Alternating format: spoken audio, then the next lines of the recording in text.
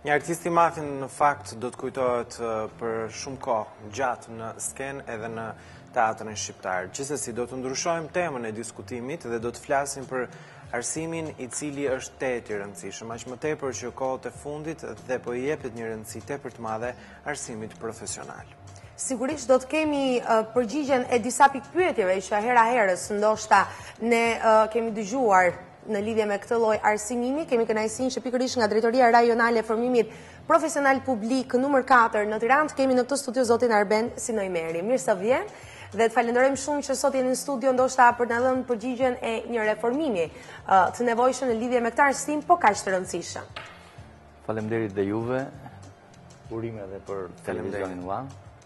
Është kënaqësi për mua që marr pjesë sot në këtë emision për të shfaqur disa mendime mhm. në lidhje me formimin profesional. Ka disa nisma të cilat përkojnë pikërisht me punën tuaj dhe që lidhen ngushtë me arsim profesional? Drejtoritë e formimit profesional publik, por edhe ato jo publik, sepse në mhm. Shqipëri sot ka dhe një diversitet të këtij aktivitetit formimit profesional, Kanë si mision që në afate të shkurtra, në kohëra të koncentruara me module dhe kurrikula relativisht të përmirësuar të sjellin në treg produkte sa më të mira dhe sa më shpejt që kërkon ekonomia shqiptare. Ne besojmë që në këtë optikë dhe në këtë vizion dhe në këtë filozofi që ka qeveria e re, Sigurisht do të marrë edhe dimension tjetër edhe arsimi dhe formimi profesional publik, si një nevojë e domosdoshme tashmë për t'u përgjigjur më mirë nevojave të ekonomisë shqiptare, por jo vetëm, për faktin dhe për të bërë një kundërpeshë të idesë që gjithsekush mund të shkojë në universitet. E vërtetë. Një çështje kjo goxha e diskutuar, duhet thënë këto kohët e fundit. Sot në Shqipëri ka një epidemi, mund të themë.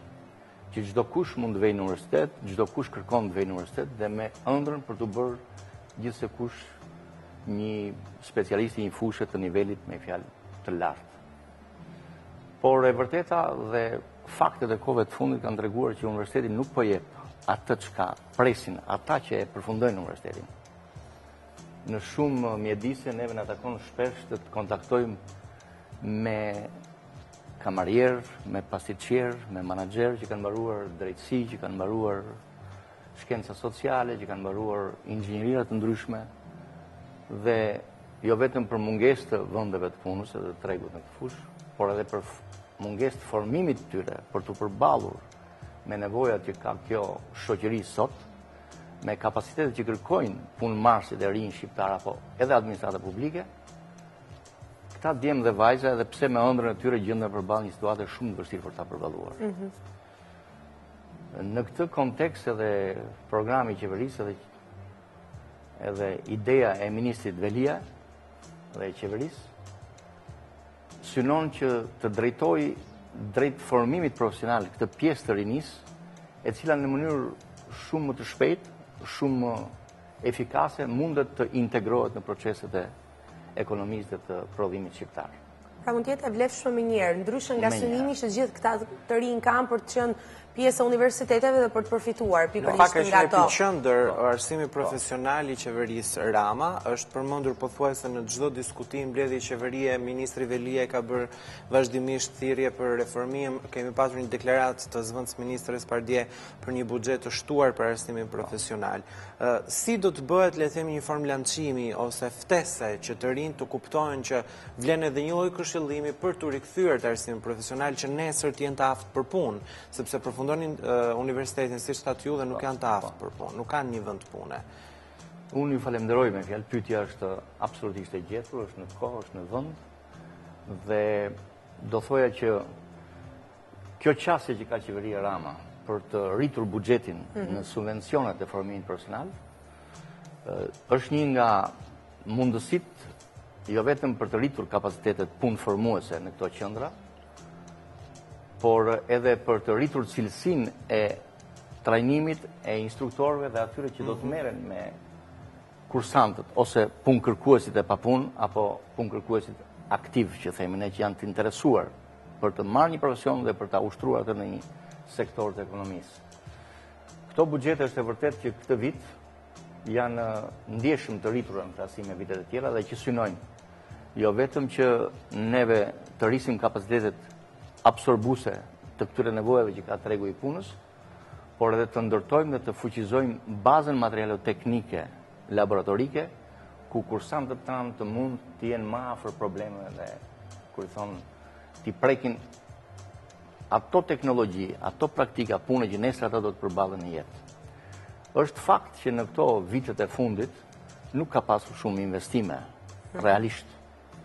Nuk jam këtu për të bërë kontabilizimin e qeverisë mëparshme apo sot. Diferencën e kohërave, jo.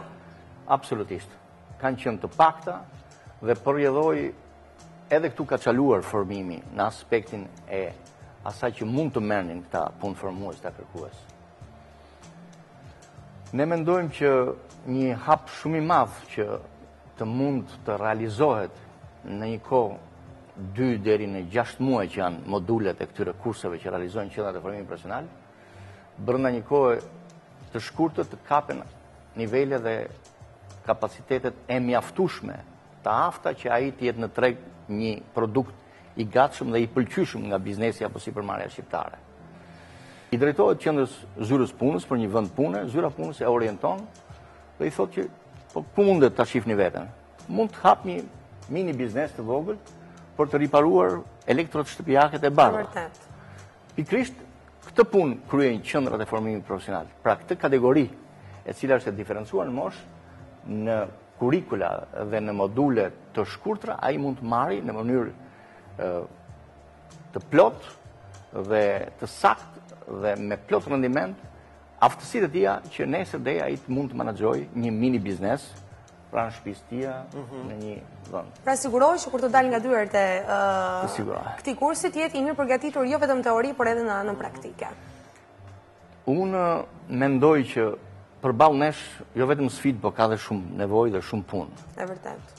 E para njëherë ne duhet të thyejmë mentalitetin që qendrat e formimit profesional, meqenëse dhamë një certifikatë apo një dëshmi kualifikimi, puna jonë mbaroi. Puna jonë mbaron atëherë kur këto dëshmi kualifikimi rriten dhe hyjnë në treg si konkurrentë të denjë. Pra ata mundësohen të fillojnë punë. Mhm. Se nëse ne do të nxjerrim kursantë, në mënyrë të vazhdueshme, me një statistikë që për fat mirë vjen duke u rritur, po për fat keq është në në në në progresion të zhdrejtë me numrin që nxjerrin dhe me ata që punësohen. Mhm. Pra dalin shumë më tepër dhe punësohen më pak. Arsyeja e punësimit të pakët është fare e qartë unë mendoj që pavarësisht nga kriza ekonomike që kalon vendi dhe rajoni edhe Shqipëria, por një krizë brenda nesh është edhe edhe tek formimi profesional. Ne nuk i japim dot biznesit produktin që ai kërkon, cilësor. Është fakt që në Shqipëri sot një pjesë e bizneseve të fuqishme ndërtimore punojnë me mjeshtra të ardhur nga jashtë. Punojnë kinezë, mm. punojnë pakistanezë, punojnë mm. turq. E vërtetë. Dhe kjo është fatkeqësi kur mendon që një pjesë e madhe mund të ishin shqiptarë, pse jo? Atëhere çfarë kanë ata më shumë se ne? Punëtorë janë, mm -hmm. vijnë punojnë me të njëjtën ditë pune, me të njëjtën pagë në Shqipëri dhe përballë këtyre punëtorëve, punëtorët tanë nuk e gjejnë dot veten. Sepse realisht ne nuk jemi në gjendje të japim atë cilësi që kërkohet. Dhe unë mendoj që këtu kërkohet një ndryshim radikal, një revolucion i mentalitetit të të gjithë formimit profesional duke futur brenda në radhë parë ndryshimet e mëdhaja në në në në në trurin e trajnerëve, të cilët ka ardhur momenti duhen trajnohen, ritrajnohen dhe ata që nuk i përgjigjen dot testit dhe nivelit për të drejtuar dhe të këshiluar një laborator apo një kurs me disa kursantë, është e nevojshme që duhet të largohen. Mhm. Duhet të largohen. Në këtë kontekst, ne jemi të ndërgjegjshëm për reformat dhe nuk jemi për të bërë reformë se do heqim ca njerëz dhe do vëmë ca njerëz. Unë e kam konceptin që reformat bëhen mbasi janë studiuar shkaqet dhe dobësitë ku kanë mhm. pasur. Dhe mbasi kemi arritur në konkluzione cilat janë shkaqet dhe dobësitë, do të vijmë te burimet njerëzore, nëse dhe ata kanë pjesën e vet të dobësive në këtë fushë. E qartë. Dhe atëherë do të mbërrijmë tek njerëzit. Po në radhë parë reformat kërkohen në një ndërhyrje të rëndësishme në kurikulat, të cilat për mua datojnë para 10 vjetësh, kohët kanë ndryshuar, aty kanë punuar specialistë e njerëz me shumë eksperiencë dhe unë i respektoj, por Gjërat ndryshojnë shumë shpejt në Shqipëri dhe kurikulat duhet të zhvishen nga edhe nga uji i tepërt që kanë. Kini parasysh që neve trajnojmë qytetarë, njerëz, jo vetëm që kanë boshllëqe të mëdha në formimin e tyre të përgjithshëm arsimor, por mund të ketë dhe njerëz që nuk kanë dhe arsimin 8 vjeçar. Mhm. Ne jemi detyruar dhe shumë mirë e bëjmë me këtë. Një drejtim tjetër që qendrat e formimit profesional dhe drejtoritë rajonale publike në mënyrë të veçantë, që varen nga Ministria e Mirëqenies Sociale dhe e Rinisë, duhet të ushtrojnë ndaj shtresave në nevojë. Shtresave që me të vërtetë kanë probleme sociale, fizike dhe ku vëmendja e këtyre institucioneve duhet të jetë maksimale. Mhm. Unë nuk mendoj dhe nuk jam dakord që njëri që ecën me karrocë duhet të ngelet gjithmonë në karrocë dhe të jetë pa punë dhe të jetë nën mëshirën e një asistence e cila mund t'i mbajë vetëm frymën gjallë. Është e vërtetë. Aq më tepër që ka edhe një ligj i cili përcakton një në tre punëtorë duhet të jetë tim. Pavarësisht ligjet kanë qenë, janë shqiptarët ende vuajnë nga mentaliteti për të punësuar një vajzë apo një djalë që me karrocë vjen edhe në televizionin tuaj. Me të vërtetë, kudo? Që mund të rrinte në recepsion shumë mirë. Mhm. Pikërisht për këtë kategori, ne po bëjmë maksimumin edhe unë jam i angazhuar që të jap gjithë aksesin dhe mundësinë e nevojshme që kjo qendër, që për fatin e mirë është nga të veçantat dhe të rrallat që ka shpëtuar valës së shkatërrimeve të viteve nëntëdhjetë. Dhe ka qenë funksionale për fatin mirë. i ka hapësira, krijon këto mundësi që ne të fillojmë në mënyrë më të gjerë këtë kategori sociale për t'i trajnuar dhe për t'i për, përgatitur këta për të marrë një profesion në jetë, edhe pse kanë një defekt fizik, mm -hmm. i cili nuk i pengon për një fushë që neve mund ta trajnojmë. Mm -hmm. Në filozofinë e qendrës, neve do luftojmë që Këta njerëz mos trajtohen grup më vete, po të integrohen brenda një grup. Të integruar ashtu siç meritojnë në fakt. Do të thënë, nuk do të ketë klasë për personat me aftësi të kufizuar të veçantë. Dhe nuk do të ketë shërbim për personat me aftësi të kufizuar të veçantë. Por këta do të jenë pjesë integrale e shoqërisë të këtyre kushte. Ajo që do të vijë në rrobaqepësi, do të shkojë në rrobaqepësi, njëlloj me gjithë vajzat dhe djemt që punojnë në atë kurs të rrobaqepësisë. Në këtë aspekt, unë mundet me të drejt të krenohem në njëfarë mënyre që qendra 4 ka një eksperiencë pozitive, mhm. janë disa kurse, disa kursantë që janë certifikuar në këtë qendër, që në kurset e kozmetikës, rrobaqepësisë, sekretarisë së zyrës, recepsionit, gjuhët e huaja, përdorimin e kompjuterave, dhe deri në zanatet artizanale, ku riparimet elektronike, televizor, magnetofon, kemi pasur kursantë paraplegjikë, tetraplegjikë, të cilët vijnë dhe gjejnë mundësitë.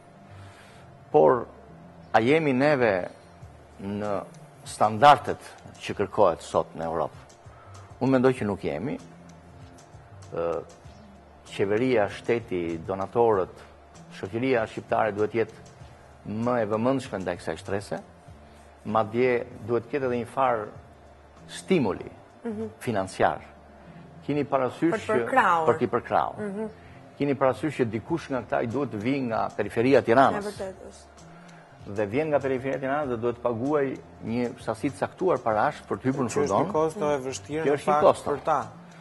Dhe qeveria Rama bëri një hap realisht të nevojshëm për të përshëndetur edhe që ka dhënë një impakt, hoqi tarifat e pranimit të kursantëve në të gjithë kategoritë e kurseve që bëhen në qendrat e formimit profesional. Mhm. Pra, sot kursantët përjashtohen disa kategori kursesh që ne i kemi futur në kurset po themi të privilegjuara elitare, mhm. që nuk janë domosdoshmëri për të qenë të dhënë mundësinë e punës, janë me tarifë Zero. Mhm.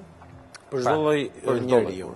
Për çdo lloj. Mhm. Dhe kjo është ndjerë në fakt. Ne kemi folur edhe herë të tjera në këtë studio po. me drejtues të këtyre institucioneve, të cilët po. tregonin kuotat po.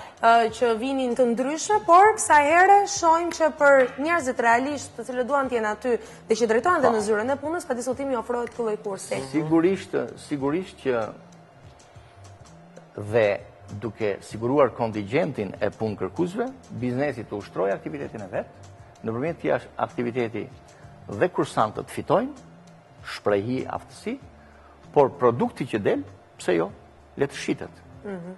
Dhe kjo e ardhur të gjenden, po themi, zgjidhjet ligjore, të ndahet në mënyrë transparente, pa u bërë xheloz askush. Kjo do të ishte forma më fantastike në fakt e të funksionuarit. Që atje po fitohet sa fiton ky dhe sa fiton ai, nuk ka të bëjë kjo me Arbenin, nuk ka të bëjë kjo me drejtorinë rajonale, nuk ka të bëjë kjo. Unë jam i mendimit që ne duhet t'i shembim disa tabu mhm. për t'i dhënë mundësi dhe lehtësuar barrën e taksapaguesve shqiptarë ndaj këtyre institucioneve të cilat mund të gjenerojnë të mhm. ardhura. E vërtet. Sigurisht këtu ju duhet ministrisë, politikëbërësve, që në bashkëpunim me stafet, me njerëzit që kanë informacionin e nevojshëm, të mund të gjejnë moduset, zgjidhjet, ligjore, praktike dhe përfituse. Mhm. Dhe përfituse. Disa strategji të thjeshta, po. të menduara mirë, për që mund të jenë më se të favorshme për të gjitha kategoritë. Aq më tepër që arsimi profesional është një mundësi e madhe punësimi, sot kur në tregun e punës në Shqipëri mungojnë profesionet, guzhinier, kamarier, inxhinier, e të tjera, profesionet praktike, ato të cilat nuk kërkojnë laps e letër, aq më tepër që brezi i ri sot është më i predispozuar të ndjekë universitetet me dëshirën e madhe për të qenë dikushi, por një profesionist i vërtetë, një zanatçi, siç kanë thënë prindërit tanë dhe siç themi, paguhet edhe mund të sigurojë shumë herë më mirë jetesën sesa një që mbaron shkollën e lartë edhe atë diplomë e mban thjesht në një kornizë.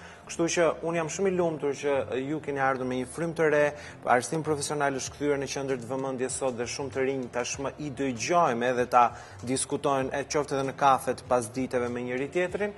Të gjithë ata të cilët ndoshta e kanë edhe një shkollë të lartë janë të predispozuar për të bërë një kurs pse jo për të patur një zanat sepse ka edhe profesione që në njëfarë moshe ti mundet ta shfrytëzosh diplomën tënde. Pak mhm. fare. Në qendrën e formimit profesional është Një risi shumë e bukur. Vijnë studentë mhm. të Universitetit të Elektronikës, mhm. regjistrohen në kurse mhm. për t'u marrë me lavatriçen, për t'u marrë me televizorin. Ta prekin konkretisht profesionin e tyre, në jo laboratorët e tyre nuk ekziston. E vërtetë. Dhe kjo është një mundësi shumë e mirë, aq më tepër që ju jeni lidhur me zyrat e punës që automatikisht mund të po. sigurohet një vend pune. Ju falënderojmë absolutisht shumë për informacionin që na dhatë dhe për punën e jashtëzakonshme që bëni. Për mua është kënaqësi që mund të jem në këtë televizion, Edhe që shprem disa mendime që besoj që do të kontribuojnë. Dhe mund të kemë ndërgjegjësuar mbi të gjitha shumë të rinj, por edhe shumë prindër që na kanë ndjekur. Që kanë interesa për të marrë edhe për t'iu drejtuar formimit profesional. Ju falenderojmë shumë edhe për prezencën në studio, ka qenë kënaqësi jona, pa diskutim. Shkëputemi për pak minuta, rikthehemi për uh, transmetimin i cili do të shkojë drejt fundit edhe pak minuta na ndajnë nga ora 11.